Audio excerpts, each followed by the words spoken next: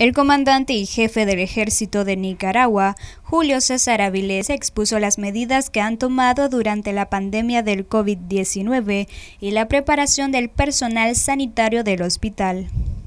Estas declaraciones fueron brindadas en el marco del 42 aniversario de la constitución del Cuerpo Médico Militar. Como lo hacen atendiendo la salud de miles de miles de nicaragüenses. También queremos resaltar y reconocer de ustedes el trabajo realizado en el marco de la pandemia del COVID-19, tanto en el nivel central como en las unidades militares, donde se implementaron eficientes medidas de prevención y protección, así como las jornadas de salud y abatización en coordinación con el Ministerio de Salud.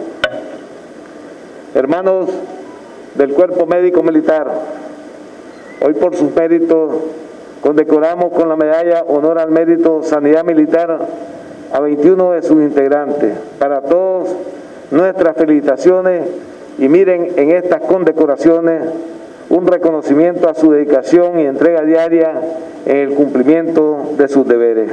Felicidades, compañeros. En este 42 aniversario del Cuerpo Médico Militar, se logró también la certificación como miembro activo de la Red Global de Hospitales Verdes y Saludables siendo el primer hospital de Nicaragua certificado en tal condición. Con sus esfuerzos hemos logrado consolidar los servicios prestados en 100 especialidades médicas, de ellas 9 de tercer nivel de atención entre las que sobresalen trasplante, cirugía endoscópica, cirugía de cirugía de base de cránea, entre otras.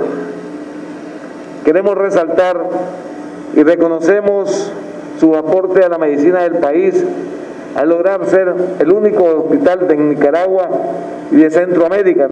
Además, en el acto de conmemoración, el cuerpo castrense hizo reconocimientos a galenos que conforman el cuerpo médico militar. Licenciada Miriam del Socorro Zamora García.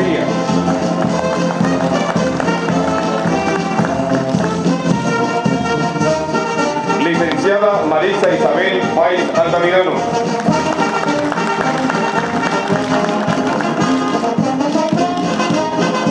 Licenciada Marta Patricia Olivares Narváez.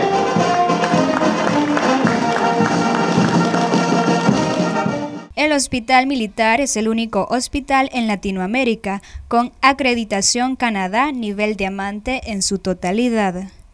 Luisa Centeno, Noticias 12.